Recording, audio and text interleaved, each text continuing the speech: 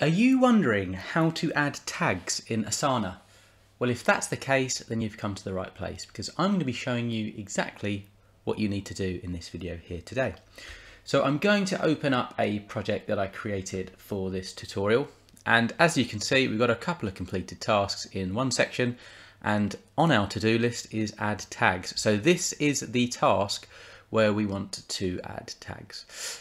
So you need to open up the detail screen. So the first way to do that would be clicking details, or the second way would be to right click. Uh, let me actually just come off this. Uh, we want to close this off.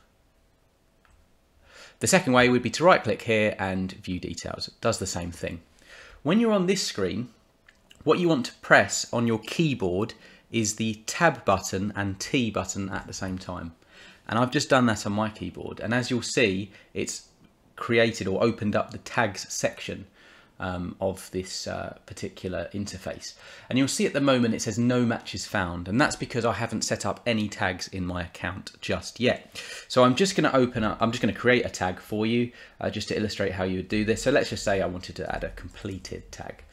So it can't find anything at the moment. So what you need to do is then click the create tag for completed. So I'll do that.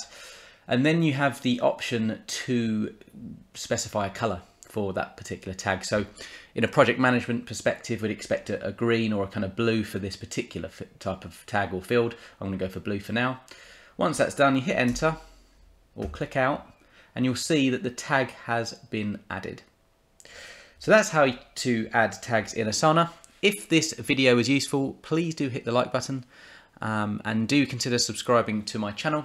If you head over to my channel, you'll notice that I've got an Asana playlist with a lot of training on using this particular uh, project management tool.